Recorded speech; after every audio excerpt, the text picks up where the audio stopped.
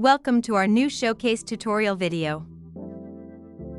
Today we are introducing the stable release version 2.0.9. Change Changelog. Added option for dashboard message with confirmation.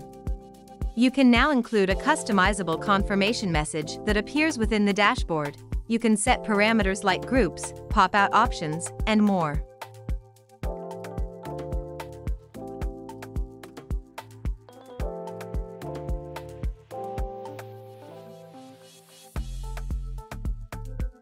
Default Stalker version changed to 5.6.1. We've updated the default version of the Stalker to 5.6.1 on new installations.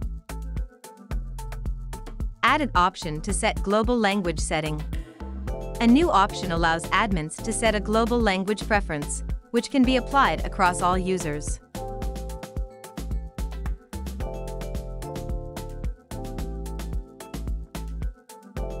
Added Live Connections endpoint to API.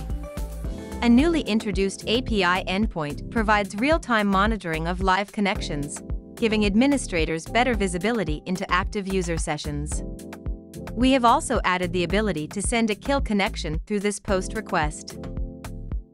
Added option to add bouquet in package from add slash edit bouquet. Managing bouquets is now more intuitive, as we've enabled the ability to add bouquets to packages directly from the Add slash Edit Bouquet screen, simplifying the workflow for package creation and updates. Added content search for resellers. We've added a content page that can be used by your resellers to surf around the newest additions or search for something specific in the search bar.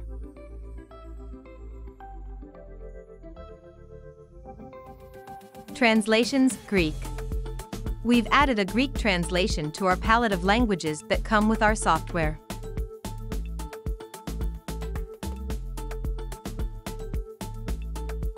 UI Improvements Security Whitelist We've made the whitelist interface more user-friendly, simplifying entry management and control.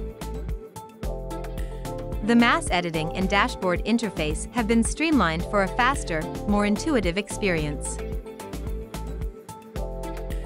Bug fixes.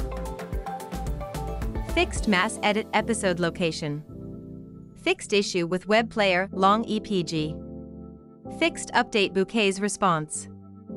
Fixed min credit transfer validation triggered without an update on credits. Fixed unable to same map with two digits. Thank you for watching this showcase video. For more information contact us directly on onestream.com. And don't forget to subscribe.